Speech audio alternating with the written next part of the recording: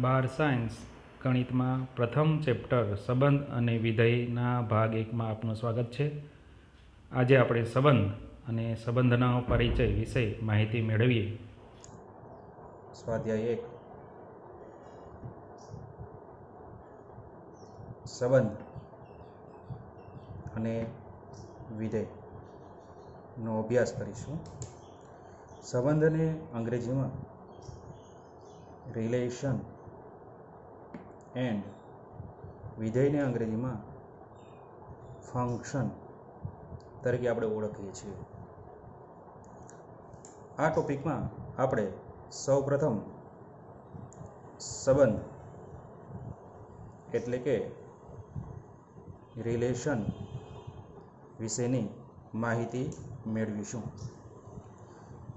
સૌથી પહેલાં આપણે જો વાત કરીએ તો સંબંધ આપણે કોને કહેવો? કેવી રીતે કહેવો? તો કે સંબંધ હોવા માટે બે વસ્તુ હોવી જરૂરી છે. એથી બીનો સંબંધ એટલે શું? તો એની વ્યાખ્યાની દ્રષ્ટિએ આપણે જોઈએ તો કે જો એ અને બી બે રિક્ત ગણો હોય અહીંયા અરિક્ત એટલે શું? અરિક્તનો મતલબ થાય છે ખાલી ન હોય તેવા ગણ હોય. એટલે કે એ ગણ અને બી ગણ ખાલી ન હોય તેવા ગણો છે. તો આપણે એ ક્રોસ બી મેળવવાનો, એ ક્રોસ બી એટલે કે એ અને બીનો કાર્તિજ્ય ગુણાકાર, જે આપણે અગિયારમાં ધોરણમાં શીખી ગયા છીએ. એ ક્રોસ બીના કોઈ પણ ઉપગણને એથી બીનો સંબંધ કહે છે. એટલે કે એ અને બી અરિક ગણો છે. પછી આપણે એ ક્રોસ બી એટલે કે એ અને બીનો કાર્તિજ્ય ગુણાકાર મેળવવાનો, એના જેટલા સભ્યો મળે, એના શક્ય તમામ ઉપગણો મેળવવાના. આ ઉપગણોમાંથી કોઈ પણ તમે ઘટકો લ્યો, તો એને એથી બીનો સંબંધ કહેવાય છે. ઉદાહરણ તરીકે એ ગણની અંદર એક અને બે બે ઘટકો આવેલા છે. બી ગણની અંદર ત્રણ નંબરનો ઘટક આવેલો છે. તો આપણે આના શક્ય સંબંધો કેટલા હોય તે જાણવું છે. તો સૌથી પહેલાં આપણે એ ક્રોસ બી મેળવીએ. એના ઘટકો લખશું એક અને બે અને ક્રોસ બી ગણના ઘટકો લખશું ત્રણ. આ કાર્તિજી ગુણાકાર આપણે શીખી ગયા છે તે મુજબ, પહેલા ઘટકને આ ઘટક સાથે સંબંધ છે. માટે એક અને ત્રણ આ રીતે નાના કાઉન્સમાં લખવામાં આવે છે, જેને ક્રમયુક્ત જોડ પણ કહે છે. હવે બેનો ત્રણ સાથેનો સંબંધ, એટલે કે બે અને ત્રણ. અહીંયા તમે જુઓ છો એ રીતે એ ક્રોસ બીમાં બે ઘટકો, એક ઘટક એક અને ત્રણ અને બીજો ઘટક બે અને ત્રણ આપણને મળેલા છે. આના ઉપગણો આપણે મેળવવા પડે. તો એ મેળવીએ. એ ક્રોસ બીના ઉપગણો. તો આના ઉપગણો ક્યાં ક્યાં થશે? સૌથી પહેલાં આ ગણની અંદર બે ઘટકો છે. બે ઘટકો આપણે કાઢી નાખીએ તો શું વધશે? કાંઈ નહીં વધે, કાંઈ ન વધે એટલે એને શું કહેવાય છે? ખાલી ગણ. ખાલી ગણ આ સિમ્બોલ દ્વારા અથવા તો ફાઈ દ્વારા પણ દર્શાવીએ. એનું આપણે જાણીએ છીએ. એ સિવાયના ઘટકોની આપણે વાત કરીએ તો એક ઘટક લઈએ આપણે. એક ઘટક હોય તો એક અને ત્રણ. એક ગણ બનશે. પછી બીજો ઘટક આપણે લઈએ તો બે અને ત્રણ. એક એક ઘટકની વાત પૂરી થઈ ગઈ. હવે બે બે ઘટક આપણે લઈએ. તો એક અને ત્રણ અને બે અને ત્રણ. આ રીતે એ ક્રોસ બીના ઉપગણો આપણને એક, બે, ત્રણ, ચાર અને પાંચ પાંચ નહીં, પણ ચાર મળેલા છે. એક, બે, ત્રણ અને ચાર. આ બે મળીને એક જ ઘટક બનશે. તો અહીંયા ઉપગણોની સંખ્યા ચાર મળી. આ ઉપગણોમાંથી કોઈ પણ ઘટકોને લઈ તમે સંબંધની રચના કરી શકો. એ દાખલા તરીકે હું કહું કે પહેલો સંબંધ જેને આર વન વડે આપણે દર્શાવીએ તેમાં ખાલી ગણ પણ તમે લઈ શકો. બીજો સંબંધ તમે એની અંદર, ઘટકની અંદર એક અને ત્રણ લઈને પણ રચી શકો, કહી શકો. ત્રીજો સંબંધ આપણે બનાવવો હોય તો આપણે એમ કહી શકીએ એક અને ત્રણ અને બે અને ત્રણ આ રીતે સંબંધને દર્શાવવામાં આવે છે. તો અહીંયા તમે જોયું તે રીતે સંબંધને દર્શાવવાનો સંકેત.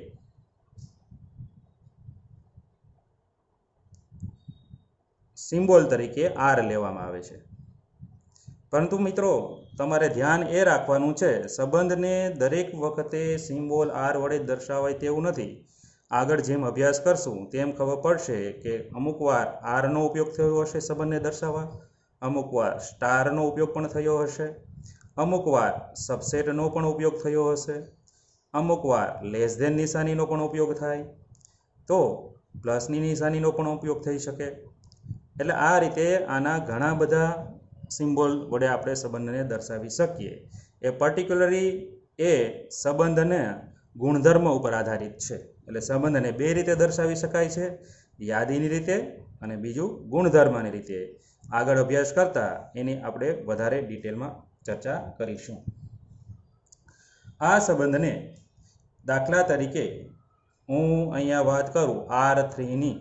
આર થ્રીની અંદર જે ઘટકો રહેલા છે, એના અનુસંધાનમાં સિમ્બોલ સાંકેતિક સ્વરૂપ.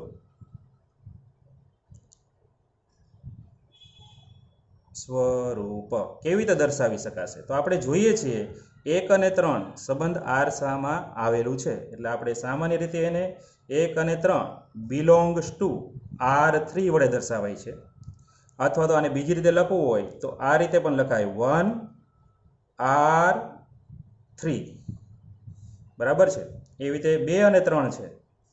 બે અને ત્રણ છે એ સંબંધ આર થ્રીની અંદર આવેલા છે. તો એને બે આર અને થ્રી વડે દર્શાવી શકાય છે. ગુજકેટ જીમાં પૂછાયેલા પ્રશ્નો તથા ગુજરાત બોર્ડમાં પૂછાયેલા પ્રશ્નો. ગણ એ પરના સંબંધોની સંખ્યા. સંખ્યા જણાવો. કુલ કેટલા સંબંધો બની શકે? એ જાણવા માટે એનું એક સૂત્ર છે. એ સૂત્ર તમારે યાદ રાખવાનું છે. આ સૂત્ર શું છે? એની ચર્ચા કરીએ. તો કે જો ગણ એમાં એન સભ્યો હોય તો ગણ એ પરના સંબંધોની કુલ સંખ્યા બરાબર બેની એન ગુણ્યા એન ઘાત થાય. ઉદાહરણ તરીકે આપણી પાસે ગણ એ છે, એની અંદર બે ઘટકો, એક અને બે છે. તમારે જાણવું છે કે ગણ એ પરના શક્ય તમામ સંબંધો કેટલા છે? તો ગણ એના કુલ શક્ય સંબંધોની સંખ્યા બરાબર બેની એન ગુણ્યા એન ઘાત, એટલે આપણે એમ પણ કહી શકીએ, બેની એન ઘાત એનો વર્ગ. અહીંયા એન એટલે શું? તો કે ગણની અંદર આવેલા સભ્યોની સંખ્યા. અહીંયા તમે જુઓ છો, એક અને બે, એટલે કે ટોટલ બે સભ્યો આવેલા છે. એટલે આપણે બેની એનની જગ્યાએ સભ્યોની સંખ્યા લખીએ બે ઘાત એની બે ઘાત. બેની બે ઘાત એટલે કે કેટલા થશે? ચાર થશે. બેની ચાર ઘાત એટલે ટોટલ કેટલા થશે? સોળ. તો મિત્રો, આ તમારે યાદ રાખવાનું છે. આઈએમપી છે. પરીક્ષાની અંદર ગુજરાત બોર્ડની અંદર પણ આ પ્રશ્ન પૂછાઈ ગયેલો છે. અને ગુજકેટ કે જીવની અંદર પણ આ પ્રશ્ન પૂછાયેલો છે. ફરીવાર જો પૂછાય, તો તમારે આ સૂત્ર એક યાદ રાખી અને આના સંબંધો મેળવવાના છે. હવે આપણે જે કે પણ વાત કરી આગળ કે એથી બીનો સંબંધ એટલે કે એ અને બી અરિક્ત ગણો હોય એ ક્રોસ બીના કોઈ પણ ઉપગણ ને એથી બીનો સંબંધ કહે છે. અહીંયા આપણે ઉપગણો જે મેળવેલા હતા એ ક્રોસ બીમાં ઉપગણો મેળવા એમાં બે ઉપગણોનો એક નિયમ ખાસ આપણને યાદ જ છે. કે દરેક ગણના ઉપગણોમાં એક ઉપગણ ખાલી ગણ અને બીજો ગણ તે ગણ પોતે. એટલે કે એ ક્રોસ બી જે ગણ હતો, એ પોતે. બે વસ્તુ અવેલેબલ છે. તો મિત્રો આપણે યાદ રાખશું, આ પણ પ્રશ્ન ગુજરાત બોર્ડમાં પૂછાયેલો છે કે આર બરાબર જો ફાય હોય તો આવા સંબંધને આપણે કયા સંબંધથી ઓળખશું? તો કે આ સંબંધ છે એની અંદર એવો કોઈ ઘટક જ નથી. તો આવા સંબંધને આપણે ખાલી સંબંધ તરીકે આપણે ઓળખશું. અને બીજો પ્રશ્ન જો આર બરાબર આખે આખો એ ક્રોસ બીજ મળે તો આવા સંબંધને કયા નામથી આપણે ઓળખાશે? તો આ સંબંધને સાર્વત્રિક સંબંધ તરીકે ઓળખાય છે. આ ગુજરાત બોર્ડમાં પૂછાયેલો પ્રશ્ન છે. ખાસ તમારે યાદ રાખવાનું છે. આ પણ આઈએમપી છે. હવે આપણે સ્વાધ્યાય એકના સ્વવાચક સંબંધ વિશે પરિચય મેળવીએ. પ્રથમ પ્રકારની કહેવામાં આવે છે સ્વવાચક. સંબંધ. જેને ઇંગ્લિશમાં કહેવાય છે રિફ્લેક્સિવ રિલેશન. વ્યાખ્યાની દ્રષ્ટિએ આપણે જોઈએ તો કે જો પ્રત્યેક small a belongs to capital A માટે કાર્તિય ક્રમયુક્ત જોડ a a belongs to R હોય તો આવા સંબંધને સ્વવાચક સંબંધ તરીકે ઓળખવામાં આવે છે. ખાસ મિત્રો યાદ રાખવાનું તમારે એ છે કે small a belongs to capital એટલે શું? તો કે ગણ એની અંદર આવેલો દરેક ઘટક. એ દરેક ઘટકને પોતે પોતાની સાથે સંબંધ છે. એ ઘટકને એ ઘટક આર સંબંધથી જોડાયેલો છે. એવું આપણે હોય તો એને આપણે સ્વવાચક સંબંધ તરીકે ઓળખશું. ઉદાહરણ આપણે જોઈએ. ઉદાહરણ તરીકે મારી પાસે ગણ છે. એ એ ગણની અંદર બે સભ્યો આવેલા છે, એક અને બે. તો આના અલગ અલગ સંબંધોની આપણે ચર્ચા કરીએ તો દાખલા તરીકે હું પહેલું રિલેશન લઉં એટલે કે સંબંધ લઉં, એની અંદર દાખલા તરીકે વન વન અને ટુ ટુ આવા સભ્યો લખેલા છે. તો આ સ્વાચક છે કે નહીં, કેમ ચેક કરવું? તો આપણે જોવાનું એ છે કે આનો પહેલો ઘટક એક છે, તો એક ને એક સાથે સંબંધ હોય એવો ક્રમયુક્ત જોડ આમાં હોવી જોઈએ. અહીંયા છે. વન ને વન સાથે સંબંધ હોય એવી ક્રમિક જોડ મળી. બીજો ઘટક બે છે, તો બે ને બે સાથે સંબંધ હોય એવો ઘટક આર વનમાં હોવો જોઈએ. તો આર વનની અંદર એકનોય સંબંધ છે અને બેનોય સંબંધ છે. માટે કહી શકાય કે આ સ્વવાચક છે. એવી જ રીતે જો હું બીજો સંબંધ લઉં અને એની અંદર દર્શાવું one one two two one two. તો અહીંયા તમે જોઈ શકો છો કે ગણ એના બંને ઘટકો, એક અને બે, આની અંદર પણ ધરાવે છે, અહીંયા ધરાવે છે. આ એક એક્સ્ટ્રા છે, એ જોવાનું નથી, પણ ગણ એની અંદર આવેલા તમામ ઘટકો પોતે પોતાની સાથે સંબંધ ધરાવતા હોય, એવા ક્રમયુક્ત જોડ જો તમને મળતી હોય, તો આ સ્વવાચક સંબંધ છે. એ જ રીતે અહીંયા આપણે ત્રીજો એક ઉદાહરણ લઈએ. આર થ્રી તરીકે, એની અંદર ઘટક વન વન છે. ટુ ટુ છે અને વન ટુ છે અને ટુ વન છે. તો અહીંયા તમે જોઈ શકો છો ગણ એના એક અને બે માટે વન વન આવી ગયું છે ટુ ટુ આવી ગયું છે. પછીના ઘટકો ભલે એક્સ્ટ્રા વધારે હોય, પણ આ બે મૂળભૂત ઘટકો તો હોવા હોવાને હોવા જ જોઈએ. તો આપણે કહી શકીએ કે આ સ્વવાચક સંબંધ છે.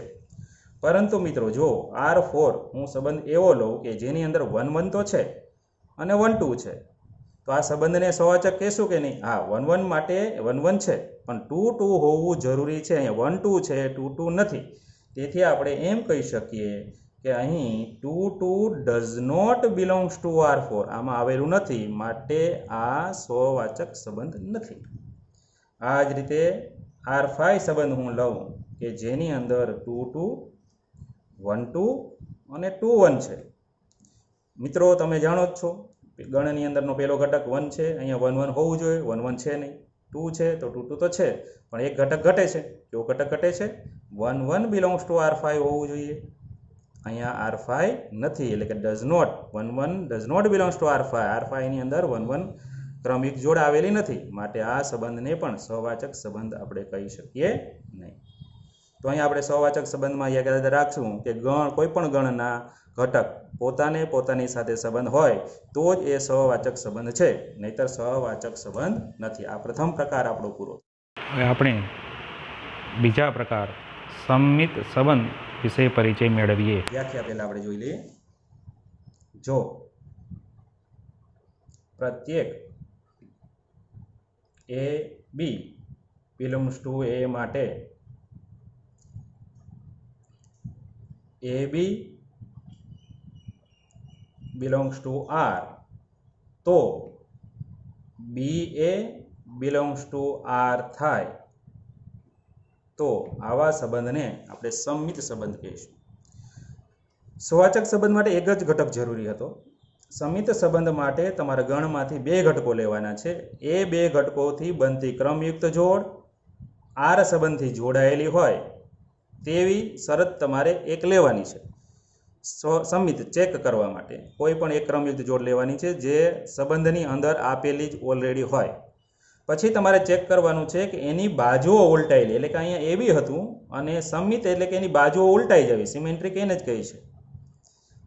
એની જગ્યાએ બી આવી જાય, બીની જગ્યાએ એ આવી જાય એટલે કે બાજુઓ જો ઉલટાઈ જાય આવો સંબંધ તમને અંદર જોવા મળે, તો આવા સંબંધને આપણે શું કહીશું? સંમિત સંબંધ તરીકે ઓળખવામાં આવે છે. તો ફરીવાર બે ઘટકો લેવાના છે. એવી એક ક્રમયુક્ત જોડ જે સંબંધની અંદર ઓલરેડી આપેલી હોય એવી લેવાની છે. એની બાજુ ઉલટાયેલો ક્રમયુક્ત જોડ પણ જો એમાં મળે, તો જ એ સંબંધ સંમિત સંબંધ તરીકે ઓળખવામાં આવે છે. આપણે આનું પણ ઉદાહરણ જોઈએ. તો ઉદાહરણ તરીકે હું ગણ પાછો એ લઉં. એની અંદરના બે ઘટકો એક અને બે મેં લીધેલા છે. હવે આના આપણે રિલેશન જોઈએ. તો રિલેશનની અંદર હું ખાસ કરીને વાત કરું તો આર વન બરાબર? આર વનની અંદર હું ઘટકો લઉં છું. વન વન ટુ ટુ તો અહીંયા તમે જુઓ છો, એ રીતે એક સંબંધ મેં લીધેલો છે ક્રમયુક્ત જોડ. વન વન હું લઉં. તો આપણે જાણીએ છીએ નિયમ મુજબ એવી બરાબર. જો વન વન થશે. આ વન વન છે એ કેમાં આવેલી છે? આર વનમાં આવેલી જ છે. તો આપણે આ બે બાજુને બદલાઈ નાખીએ. એટલે કે બી એ કહીએ. અહીંયા એ તરીકે વન છે બી તરીકે વન છે. બાજુ ઉલટાવો એટલે બી એ થાય. તો અહીંયા પણ શું થશે? વન વન થશે. હવે આ વન વન છે, આ ક્રમિક જોડ આની અંદર છે કે નહીં? ચેક કરીએ તો હા છે. તો આપણે કહી શકશું કે આર વનની અંદર આવેલું છે. માટે પહેલા ઘટક માટે ક્રમયુક્ત જોડ એના બાજુ ઉલટાયેલી પોતે ને પોતે થશે. માટે હવે બીજા ઘટક માટે ચેક કરીએ. એ બી બરાબર જો હું ટુ ટુ લઉં તો એ આર વનમાં છે ઓલરેડી છે, એ જ મેં ક્રમયુક્ત જોડી લીધી છે. હવે આની બાજુઓ ઉલટાવીએ, એટલે કે બી એ કરીએ, તો આ ટુ ટુની બાજુ ઉલટાવો તો એ શું થશે? ટુ ટુ જ થશે. તો એ પણ આર વનમાં જ છે, એટલે એના બંને ઘટકો માટે બાજુ ઉલટાવેલા ઘટક પોતે ને પોતે થશે, માટે આ સંબંધને આપણે સંમિત સંબંધ છે એમ જાહેર કરીશું. બીજો સંબંધ આપણે લઈએ આર ટુ આર ટુની અંદર દાખલા તરીકે હું વન વન લઉં વન ટુ લઉં અને ટુ વન લઉં. તો આ સમિત સંબંધ છે કે નહીં એ ચેક કરીએ? પહેલા ઘટક માટે વન વન તો આપણે અગાઉ જોયું જ છે. વન વન માટે એ સમિત થશે. હવે આપણે બીજા ઘટક માટે આપણે જોઈએ. દાખલા તરીકે વન ટુ છે, હું એને એ બી કહું. A belongs to R two છે જ. તો હવે આ એ બીની બાજુઓ બદલાવીએ એટલે કે બી એ થવું જોઈએ. તો અહીંયા બાજુ બદલાય તો એ તરીકે કોણ થશે વન બી તરીકે કોણ થશે ટુ બાજુ બદલાવે એટલે શું થશે? ટુ અને વન થશે. હવે ટુ અને વન આની અંદર આવેલું છે કે નહીં? આપણે ઘટક કયો લીધો તો ક્રમયુગ જોડ? વન ટુ લીધી હતી. એની બાજુ ઉલટાવો એટલે કઈ થઈ ગઈ? ટુ અને વન તો ટુ અને વન અંદર છે? આ છે. તો આપણે કહી શકીશું આ ટુ આ છે. પહેલા ઘટક માટે તો આપણે બની ગયું. આ બીજા ઘટક માટે બન્યું. હવે ત્રીજા ઘટક માટે ચેક કરીએ. તો ટુ અને વન બરાબર આપણે લીધું A B. Belongs to R two તો આની બાજુ બદલાવી એટલે શું થશે? તો કે બી એ તો એ તરીકે બે છે બી તરીકે એક છે, એની બાજુ બદલાવે એટલે શું થઈ જશે? વન અને ટુ તો એ વન અને ટુ આર ટુમાં છે કે નહીં? આપણે આની માટે ચેક કરી રહ્યા છીએ. ટુ વન માટે ટુ વનની બાજુ ઉલટાવો એટલે શું થઈ ગયું? વન ટુ વન ટુ આ છે. તો આપણે કહી શકીએ કે આ સંબંધ છે એ કેવો છે? સંમિત છે. એ જ રીતે આપણે આગળ વધીએ. તો હવે દર વખતે આપણે આવી ગણતરી બતાવવી ન હોય તો માનસિક રીતે વિચાર કરીને આનો જવાબ તમારે દેવાનો છે. આર થ્રી તરીકે દાખલા તરીકે હું લઉં છું. વન ટુ અને ટુ વન તો આ સમિત સંબંધ છે કે નહીં? દાખલા તરીકે હવે હું વન ટુ લઉં તો એની બાજુ ઉલટાવું એટલે શું થવું જોઈએ? તો કે ટુ વન થવું જોઈએ. ટુ વન તો અહીંયા આપેલું જ છે.